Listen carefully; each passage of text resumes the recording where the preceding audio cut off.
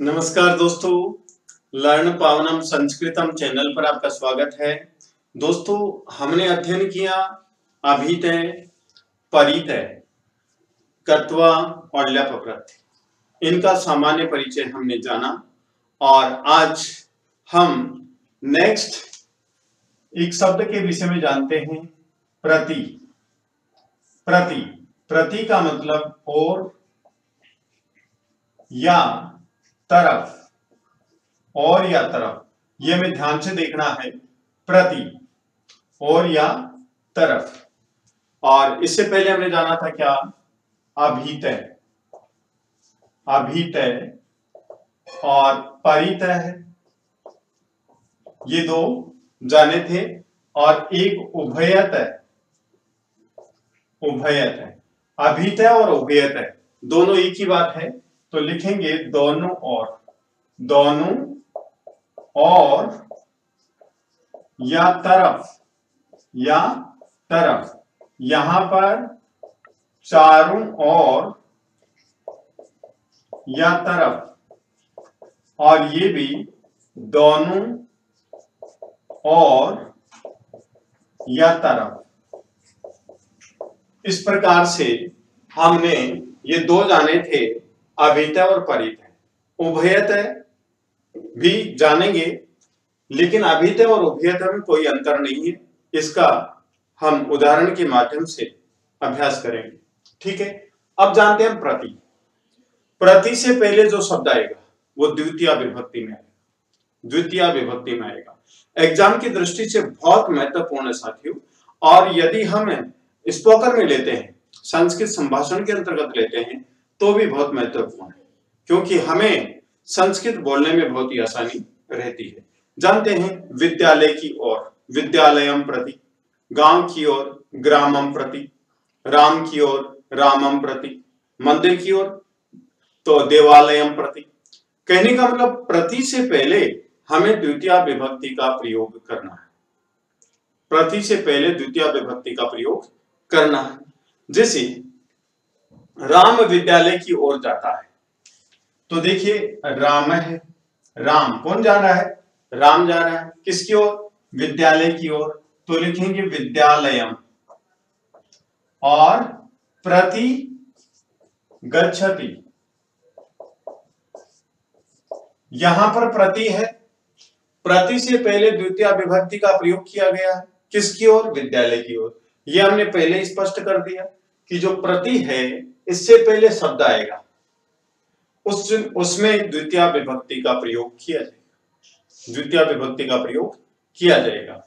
तो विद्यालय प्रति विद्यालय की ओर, इसका हिंदी में हम ट्रांसलेशन करेंगे तो विद्यालय प्रति विद्यालय की ओर। कौन जा रहा है? राम है, राम। तो प्रथम पुरुष एक वचन है राम। प्रथम पुरुष एक वचन की क्रिया का प्रयोग किया गच्छति। राम है विद्यालय प्रति गच्छति। राम विद्यालय की ओर जाता है। अब इसमें दूसरी विभक्ति पे हम ऐड करेंगे तो कर्ता और क्रिया में कोई परिवर्तन नहीं आएगा। जैसे, राम है, जनकेन सह, विद्यालयम विद्यालयम प्रति गच्छति। ये सेंटेंस तो यहाँ देखिए सह जो है, इससे पहले भी तृतीय विभक्ति का प्रयोग किया जाता है। यह हमने पिछली वीडियो में भी जाना था। क्योंकि सह शब्द जब आ जाता है तो सह शब्द से पहले तृतीय विभक्ति चाहे एक वचन हो, द्विवचन हो या बहुवचन हो, हम प्रयोग करते हैं। नेक्स्ट है, प्रति से पहले द्वितीय का प्रयोग किया जाएगा। ये क्लियर हो गया।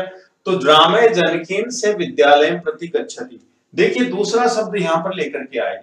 फिर भी राम प्रथम पुरुष एक वचन है तो प्रथम पुरुष एक वचन की क्रिया का प्रयोग करेंगे राम विद्यालय प्रति गच्छति राम विद्यालय की ओर जाता है और राम जनकीन से राम पिताजी के साथ विद्यालय प्रति गच्छति विद्यालय की ओर जाता है। अब यहाँ पर हम वचन चेंज करके भी देखते हैं। देखिए, राम है बालकाभ्याम बालकाभ्याम सह विद्यालयम विद्यालयम प्रति गच्छति। ये वाक्य है। राम है।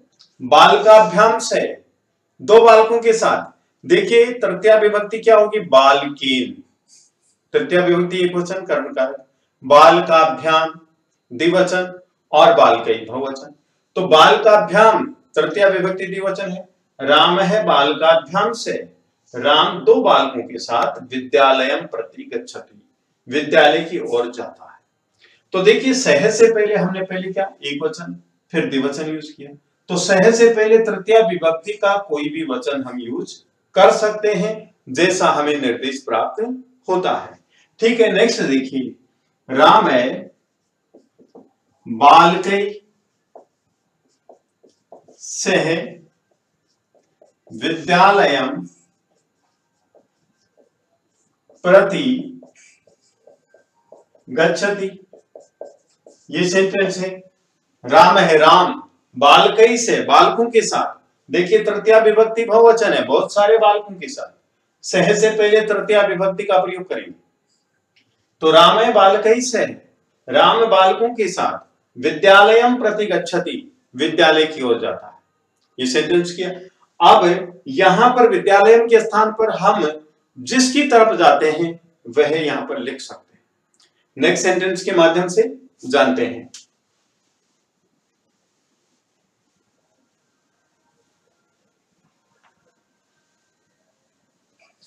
जैसे बोल दे, बोल देते हैं कि मैं बगीचे की ओर जाता हूँ। मैं बगीचे की ओर जाता हूँ किसके साथ? मित्र के साथ। तो लिखेंगे, हिंदी में देखिए, मैं मित्र के साथ बगीचे की और जाता हूँ। ये सेंटेंस है। मैं मित्र के साथ बगीचे की ओर जाता हूँ। कौन जा रहा है? मैं करता हो गया, मैं जाने वाला। और क्रिया भी इसी के अनुसार यूज़ करेंगे मैं उत्तम पुरुष एक वचन है तो क्रिया भी उत्तम पुरुष एक वचन की हम यूज़ करें। साथियों, यदि आप रेगुलर वीडियो देख रहे हैं तो आपको पुरुष से संबंधित किसी प्रकार की कोई समस्या आ ही नहीं सकती। तो पुरुष से संबंधित शुरू की वीडियो आप अवश्य देखें। उसमें सब कुछ एक्सप्लेन किया गया है। तो देखिए, मैं मित्र के साथ बगीचे की ओर जाता पुरुष के विषय में एक बार और बता देता हूँ मैं कि अहम आवाम वयम, ये उत्तम पुरुष की तीन करता है।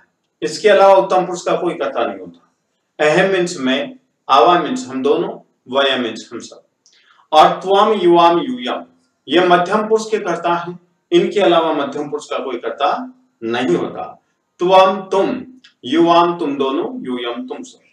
उत्तम पुरुष और मध्यम पुरुष के कर्ता के अतिरिक्त जितने भी कर्ता हैं, वे सब प्रथम पुरुष के अंतर्गत आते हैं। ये हमें निश्चित रूप से जानना है। तो किसी प्रकार की कोई गलती होने की संभावना है ही नहीं। तो मैं मित्र के साथ बगीचे की ओर जाता हूँ। तो यहाँ पर साथियों, जाने वाला कौन है? अहम। कितने मित्र हैं? एक। तो हमने बात की कि सात। सात के अर्थ में क्या यूज़ करेंगे? सह। कितने मित्र? एक मित्र। तो तृतीय विभक्ति एक वचन का यूज़ करेंगे, मित्रेण। मित्रेण। अहम मित्रेण से, मैं मित्र के साथ। किसकी ओर? बगीचे की ओर। तो देखिए साथियों, और के अर्थ में क्या प्रति? प्रति, बगीचे को संस्कृत में क्या बोलते हैं? उद्यान। तो उद्यान में द्वितीय विभक्ति का प्रयोग करेंगे, उद्यानम। और फिर लिखेंगे प्रति। प्रति, जैसे रामम, उद्यानम। तो मैं मित्र के साथ बगीचे की ओर अब नेक्स्ट क्रिया आ गई, जाता हूँ। ये कैसे लिखें? देखिए, मैं उत्तम पुरुष एक वचन है।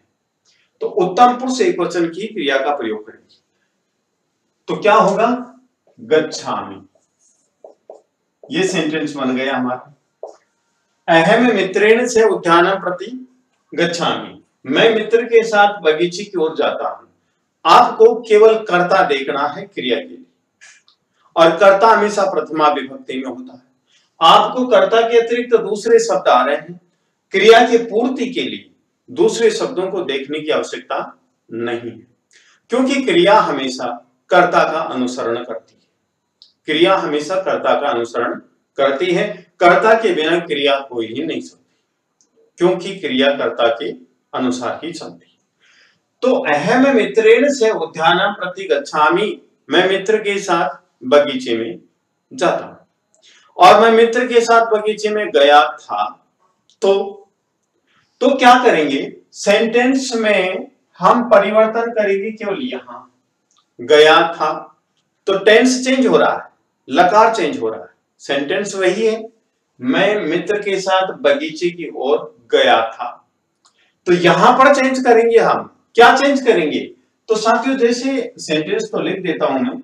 अहम मित्रेण से उद्यानम प्रति। अब देखिए, अहम उत्तम पुरुष एक वचन है।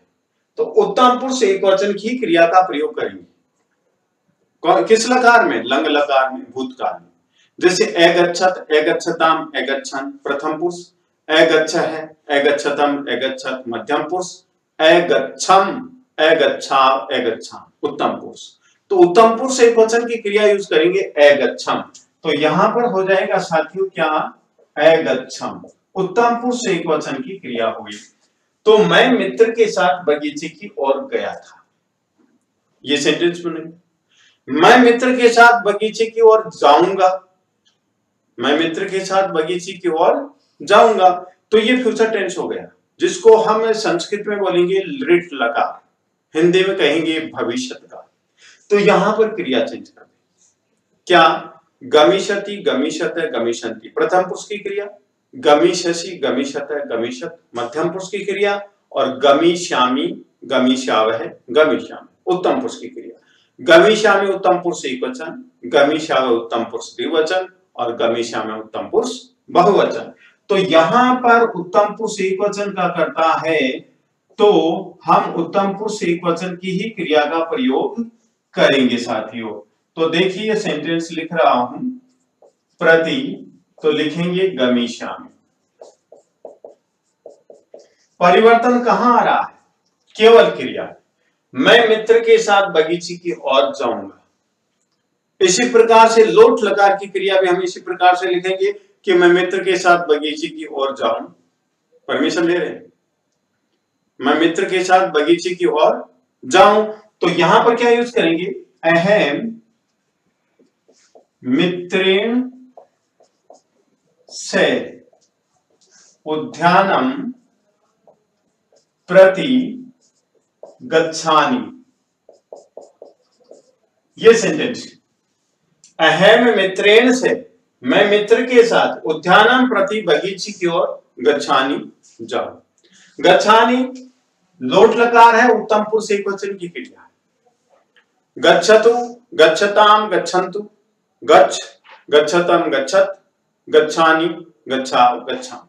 गच्छानी उत्तम पुरुष एक वचन गच्छा उत्तम पुरुष द्विवचन और गच्छाम उत्तम पुरुष बहुवचन तो उत्तम पुरुष एक वचन का करता है तो उत्तम पुरुष एक वचन की क्रिया का प्रयोग करेंगे गच्छानी।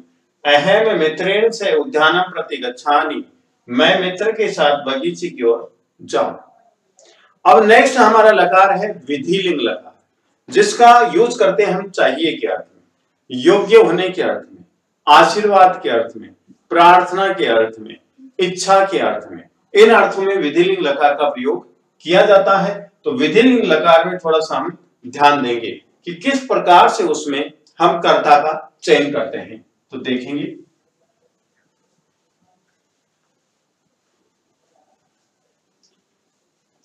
विधिलिंग लकार में हम यूज़ करेंगे कि देखिए साथियों, मैं सेंटेंस लिखता हूँ।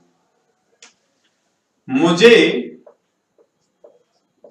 मित्र के साथ, मित्र के साथ बगीचे में, बगीचे की और जाना चाहिए।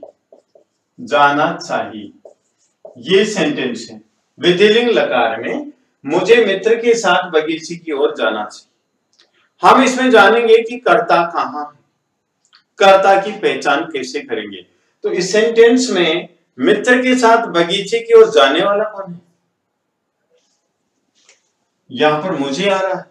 लेकिन मुझे से स्पष्ट नहीं हो रहा है कि करता करता तो आप कहेंगे कि मैं होता है। मैं होता है। यदि यहाँ पर मैं लिखूं मैं मैं मित्र के साथ बगीचे की ओर जाना चाहिए तो क्या हिंदी में सेंटेंस सही होगा? नहीं। मैं मित्र के साथ बगीचे की ओर जाना चाहिए तो सेंटेंस सही? नहीं।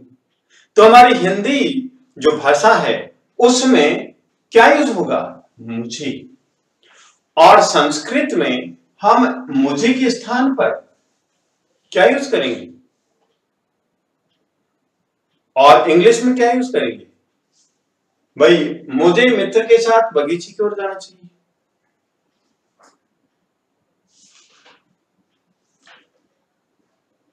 I should go to the garden with my friend ऐसे यूज़ करते हैं।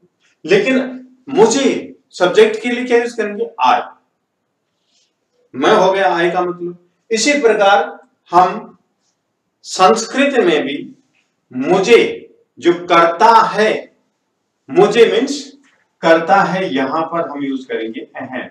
ये हमें ध्यान रखना है कि इस वाक्य में करता कौन है? मित्र के साथ बगीचे की ओर जाना चाहिए। किसे जाना चाहिए? मुझे। स्वयं अपने आप को एक सजेशन दिया जा रहा है। कि मुझे जाना चाहिए। तो स्वयं जो फ़र्स्ट पर्सन है, वो ये थोड़ी कहेगा कि मैं जाना चाहिए। वह तो कहेगा कि मुझे जाना चाहिए। मुझे जाना चाहिए। ठीक है कि नहीं? तो इसलिए यहाँ पर हम संस्कृत में कर्ता में किसी प्रकार का कोई अंतर नहीं पड़ता।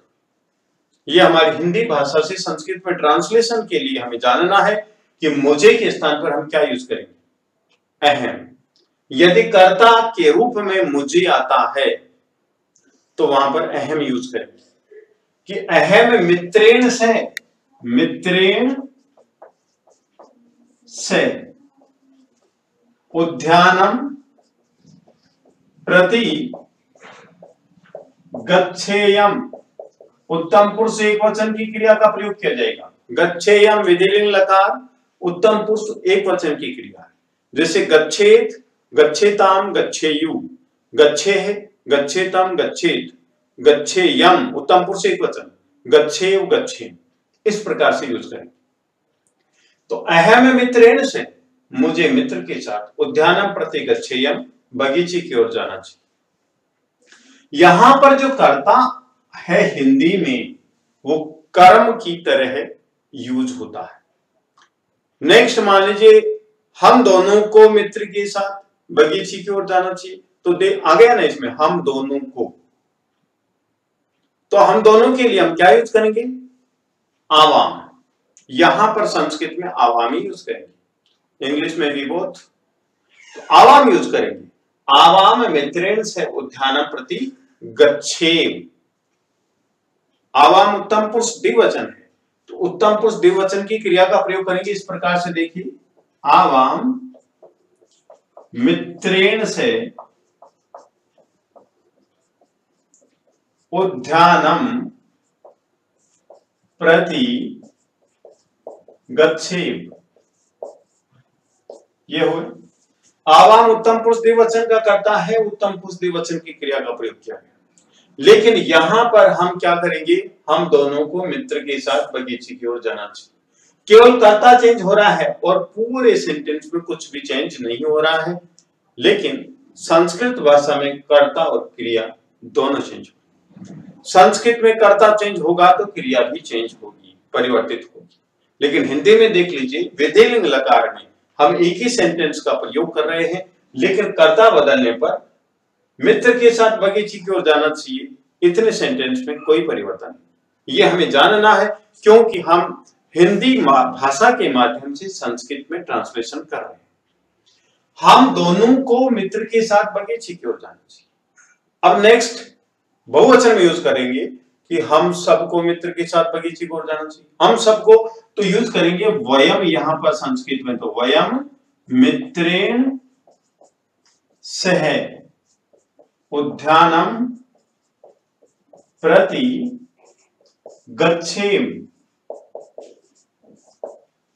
वयम उत्तम पुरुष बहुवचन का करता है, गच्छेम उत्तम पुरुष बहुवचन की क्रिया। ठीक है? लेकिन यहाँ पर हम सबको मित्र के साथ बगीचे की ओर जाना चाहिए। केवल करता चाहिए वयम मित्रेण से हम सबको मित्र के साथ उद्यान प्रति गच्छेम उद्यान की ओर जाना चाहिए, बगीचे की ओर जाना चाहिए। विशेष रूप से हमने ये विधिलिंग लकार के कर्ता की जो परिवर्तन करने का जो तरीका है, वो भी सीखा। नेक्स्ट वीडियो में हम मध्यम पुरुष और प्रथम पुरुष के विषय में भी इस विधि लिंग लगा के संबंधित सेंटेंस बना करके जानेंगे। ठीक है? विशेष रूप से जाना हमने प्रति। प्रति से पहले द्वितीय विभक्ति का प्रयोग किया जाएगा। यहाँ पर एक ही सेंटेंस है समझने के लिए।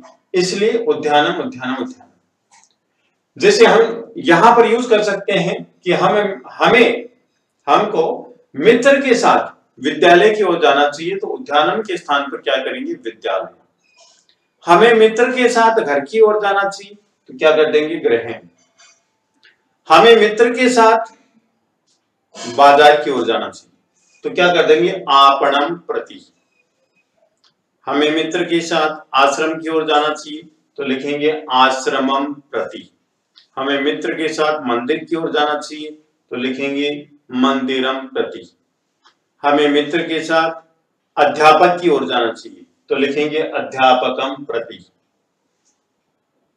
इस प्रकार से प्रति से पहले द्वितीय विभक्ति का प्रयोग किया जाएगा। तो साथियों, आज रह गया हमारा अभितय परितय और प्रति के विषय में जाना। उभयतय के विषय में हम नेक्स्ट वीडियो में चर्चा करेंगे। तो विद्वान साथियों, यदि आपको ये वीडियो पसंद आया तो आप लाइक कीजिए शेयर कीजिए कमेंट कीजिए सब्सक्राइब कीजिए। धन्यवाद।